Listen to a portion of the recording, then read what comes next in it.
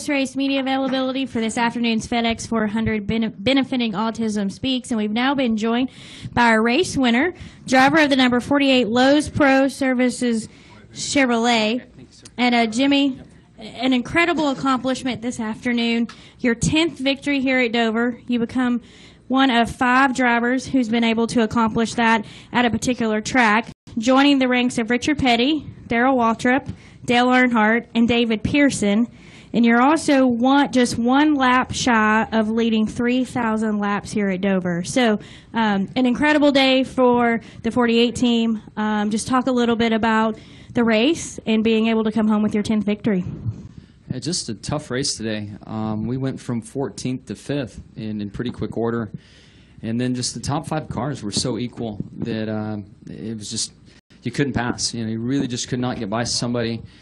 They made a bobbler mistake, you could close up, but then the next set of corners, excuse me, the next set of corners, they would, uh, you know, get back to the bottom and run a line and kind of hold you up, and you couldn't go anywhere. So I really felt like it was going to be a game of inches today. And as the race progressed, my team did a great job on pit road and got me a couple spots. And then I'd lose them on a restart, being pinned down on the inside. And I, I just I felt bad for my guys that I couldn't do anything with their awesome pit stops. But when it came to green flag stops, they once again nailed the stops and were able to leapfrog some guys on the racetrack. And then that really set up our uh, our race at the end. And I was able to finally get to the four with 25 to go, get, get kind of close to them. That first caution came out.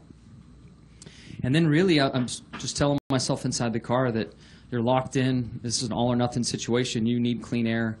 Do anything you can on the restart to get the lead. Um, be as aggressive as possible. And I was able to get the lead and get control.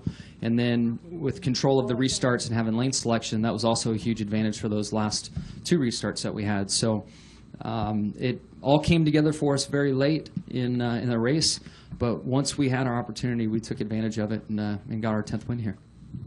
And we've now also been joined by our race winning crew chief, Chad Knaus. And um, Chad, 10 wins here at Dover for the 48 team, a tremendous accomplishment. Talk a little bit about you know the call of the race today, but also what it means to the team to be able to win um, the 10th victory this afternoon. It was uh, gosh, it was so great to be able to come here this weekend and uh, compete for that. I didn't realize that we were going for 10 wins until we showed up here. I don't remember anybody even saying anything about it last year in the fall, so it was it was kind of a shock to me. I didn't didn't really touch on that. So to be able to go out there today with the the Lowe's Pro Services Chevrolet and, and run the way that we did um, was was really great. We didn't qualify quite as well as what we wanted to, but uh, Jimmie made quick work uh, to get up to the top five, and it seemed like, gosh, it just seemed like we were going to run the top five and fifth all, all race long for about 75% of the event. We just couldn't seem to, to get anywhere. He'd put together, much like he said, a couple of really fast laps and gain on somebody, and then you would lose the air, and we would gain a couple on pit road, and we'd lose them on a, a restart, and it just we just couldn't get it. It was just tit for tat all day. And then finally we started to put it together and get a couple here and a couple there. And uh, once once Jimmie got into a position where he could battle with uh, the guys for the lead. He, he did a very, very good job and made quick work of those guys. I would, could have been prouder. He, uh, he did a fantastic job on the restarts and got out there, managed what he needed to, got the gaps where he needed to, and uh, it, was, it was pretty awesome. Right. We'll go ahead and take questions for Jimmie or Chad. If you have one, please raise your hand and state your name and affiliation. We'll start with Holly, then go to Kelly, and then Jeff. Holly Cain, NASCAR.com. So I'm guessing you weren't necessarily toying with the field all day, even though people kind of would look at it because you moved forward, you were always there, and it was, you know, Jimmie's there. We can't consider this done yet. Was it really towards the very end that you felt you were going to, to, to challenge for the win, or did you kind of feel like the car was good all day, you just needed certain things to happen? Yeah, I really felt like we had dive bombed by a fly here. I really felt like we had the speed in the car and I made my way to fifth, but the, the top five cars were so equally paced that um, I, I, just I couldn't go anywhere. So it might have looked like I was just kind of setting up something for the afternoon, but uh, that was certainly not the case. I wish that we had clean air earlier and could have uh, controlled the race and, and, made some adjustments for the car up in the lead. But uh, we, we couldn't go anywhere, and then the 78 led a lot, and I could see he was pretty close by. Uh, I think the four probably had the biggest gap. Um, his car had a lot of speed until that last run. It looked like they struggled a little bit on that last run, but um, we just we, we couldn't get there. Unfortunately, uh, there was enough time left at the end. I mean, when we finally had our shot, there was inside 20 to go, I guess, uh, to to win the race. All right. Kelly, if we can get a microphone. Thank you. Kelly Crandall with PopularSpeed.com. Jimmie, it kind of piggy, piggybacks off of Holly's questions, but in the previous nine Dover wins, you led at least 170 laps. Today, you led 23. Did this one feel the, the toughest as all uh, toughest of all of them? Yeah, I, I, think so. I mean, it was so difficult to uh, to, to pass in the top five. Um, I was encouraged because we were all very close, and I could see the leader in most scenarios. And the second, third, fourth was was right there, so it was inspiring to uh, you know stay on your game in the car and stay disciplined. And I, was just hopeful I could put pressure on the car in front of me and have them make a mistake to where I could I could get by. But and everybody. It was, it's shocking to say, but those guys are all pretty good. Nobody made mistakes, any big ones for that matter. And uh, it really took creative strategy on pit road and fast pit stops to, to get the passing done inside the top five. Uh, that, that's really what set us up for the win. All right, Jeff, go ahead. Jeff Gluck from USA Today. Uh, on Friday, Jeff Gordon came in here and he said of, of the three previous wins that you had, that we all scratch our heads and are amazed that he's been able to do that because we don't feel like we have really performed any of us to that level, but they have done an excellent job with execution. Um, would you? Is that a fair statement to say that um, you're, you're, you've been able to win races this year by uh, through a lot of execution and not necessarily dominance at times? Um, man, I feel like feel like we've had good cars in, in race circumstances. You know, qualifying and raw speed hasn't been our strong suit, and that's that's set us up for some long Sundays, as we all know. Um, gosh, one race I didn't even get a chance to qualify, and we came back and won at Atlanta. So, you know, the the raw speed department, I I feel like we are lacking a little bit, and we're aggressively going after that. I mean, my guys are are working so hard, and that might be some of the uh, you know anxiety you sense or feel or hear on the radio when we're we're just we're trying so hard to create speed with our cars that uh, you know it, Friday it might show a little bit there and what Jeff was speaking about, but come Sunday I feel like we've been racing really well. Um, I think our cars have been much more friendly to drive than what I had last year.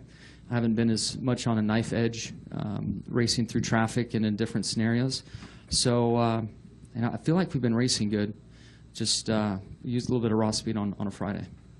All right, we're going to go to Bob and then back up front. Uh, Bob Pockrass, ESPN. Um, kind of, uh, since this win was you, you led 20 something laps compared to 170, would you have left today if you were finished second or third and been like, that was a decent day?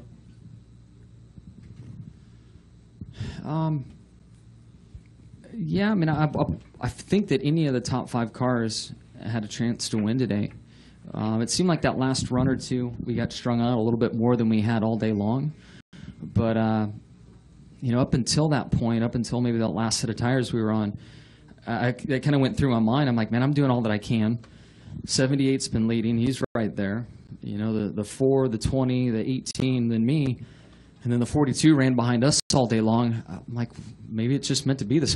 like, we can't, we're just all that equal. Um, and then at the end, it seemed like that last run, things kind of stretched out a little bit more for us. But, uh, you know, it, it, it was a hard fought day. I mean, I mean, run second today, those guys, their tongues hanging out just as much as mine is. You know, second to fifth really drove the wheels off their cars today. All right, we're going to come back up front, please.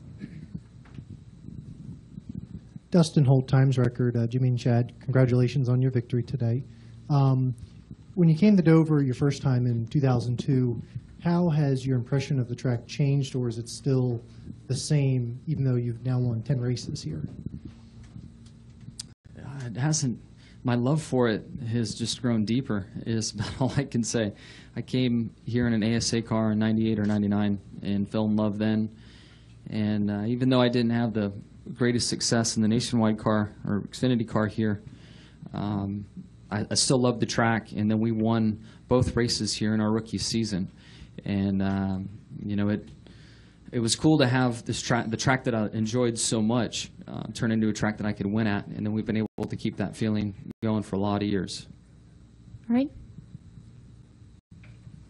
I believe we had a question in the middle row there. Do we have a question? Okay. Joseph Wolkin, frontstretch.com.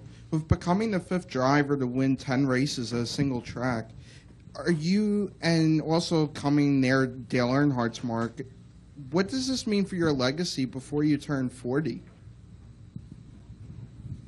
I, man, I really don't think about those things. Um, very thankful for the opportunity that I've had at Hendrick Motorsports, the amazing people I've had to work with, uh, the support from our sponsor Lowe's, Chad, Rick.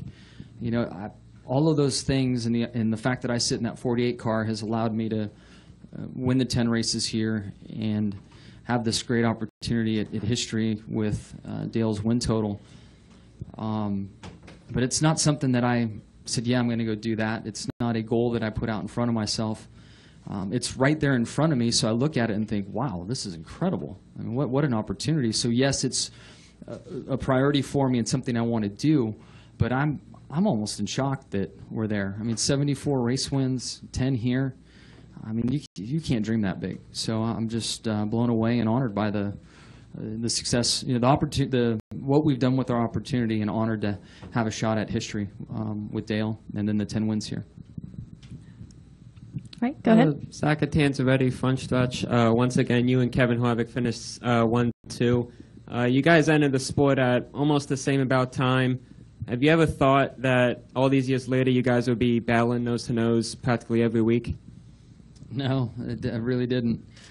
Uh, most know the story that we both um, spent time at Ron Hornaday's house and trying to find our way in the NASCAR world and uh, the Charlotte area in general. So uh, to you know be two guys that were sleeping on couches at Hornaday's house to to leading laps and, and fighting so hard for race wins and potentially a championship in 2015's uh, nothing that was on our, our radar then. All right. We're going to go to Mike. Mike Hembree, USA Today. Uh, Jimmie, your your tires were pretty old coming to the end of 400, uh, and then you had the extra laps tacked on. You didn't appear to be under under a lot of stress, but uh, w- was there any concern about the tires the last uh, four or five laps? Yeah, th- there was, especially the first restart. Um, I didn't know if Chad was just being a car salesman or what, but he told me the guys on two hadn't been very successful, and I, I wanted to believe him, so I, I believed him on that one. And we fired off well and maintained the lead. Well, I, I mean, I know you're going to say what you got to say. uh, we got going, and the guys on four didn't come through, and the guys on two didn't go anywhere. I thought, well, damn, he wasn't lying to me. We're going to be in good shape. so it was really about getting down the front stretch on the restart, getting up through the gears well. Um, and that last restart, Harvick hammered me in the back of the car and shot me out in front of the five. And uh, once I had the, the racetrack to myself, we were in control then. All right. Do we have any final questions for Chad? All right. We'll take our final question for Chad. Tom Bowles, front stretch and Athlon. Chad, this year you guys have had a little bit of a yo-yo. You guys will have wins like at Dover, and then you guys had a difficult week at Charlotte, you know, a difficult week at Martinsville. With the new chase, does that concern you at all, or not really, because you guys are bouncing back, you know, and winning the following week? Well, I think that you're spending too much time looking at the result and not the performance. Uh, first and foremost, I think at Martinsville, if we hadn't had a uh, power steering cooler problem, we would have probably finished in the top five easily. Um, last week in Charlotte, we were qualified poorly, and, and Jimmie did a great job of managing it and driving to the front. We worked on the car really hard. Unfortunately, he spun out, um, which gave us the opportunity to work on the car. But um, you know, we were trekking in and waiting for the evening hours to come. So, I think that uh, as we're finding our stride with the rule package this year, I'm actually fairly pleased uh, with uh, the way that we've been performing. I think that we've got to do a better job on Friday. I feel as though that the race starts on Friday, and we've we've really done pretty pitiful on Fridays, and uh, got to do significantly better there. We're working really hard on it, really hard. And uh, if we can do that, it'll set us up to, excuse me, get in position to get a solid pit pick and really let our pit crew start to shine. So. Um, you know, although we've had a couple of bad finishes, I think the major problem there is is starting on Friday. And I think when we've had the bad finishes, we've actually performed fairly well, um, solid top ten. All right, Chad. Congratulations on your victory today. We'll let you go ahead and run out. Any final questions for Jimmie? All right, we're going to take our final question from the press box. Go ahead.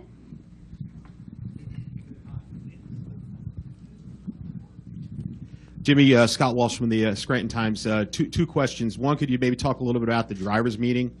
And uh, two, um, next week, how do you take this momentum into uh, Pocono, another place you've had? You haven't won 10, win, 10 times there, but you've had some success there. Yeah, the drivers' meeting. Which what, what about the drivers' meeting? The uh, drivers' meeting that was last night. I missed that memo. I wasn't there. Um, I was on a bicycle ride. I rode 52 miles yesterday, so hopefully I'm not going to get in trouble for missing a meeting that was taking place. Um, it must have been. Uh, gosh, now it's it's kind of. I don't think I was invited to that meeting. I haven't won enough races or championships. That was for something else. Um, the uh, Pocono, I'm, I'm excited. It's such a different animal at that racetrack in, in what creates speed. Uh, last year we had strong performances. Uh, year before strong performances. So um, looking forward to to going up there. Um, you know, the, it's always a fun area. Um, great roads to ride on. Do a lot of cycling when I'm there. Uh, so just excited to get up there. And, and what's neat about the position we're in with these wins, um, fuel strategy is such a player in how the outcome of that race uh, works out. And we can go up there and not care. So, so that gives us an advantage. And you know, the guys with wins right now can can take advantage of that uh, situation in the race on Sunday. All right, Jimmie, we appreciate your time this afternoon. Congratulations on such a historic victory, and we wish you the best of luck in Pocono. Thank you.